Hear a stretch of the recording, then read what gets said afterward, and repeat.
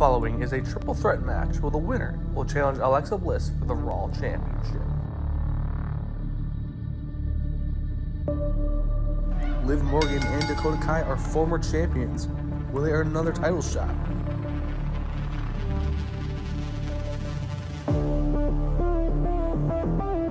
Liv going for a moonsault and it backfires.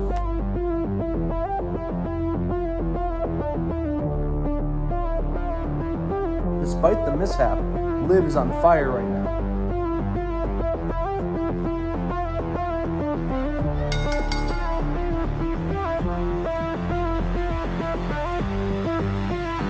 Liv Morgan has punched her ticket. It will be Bliss and Morgan for the title coming soon.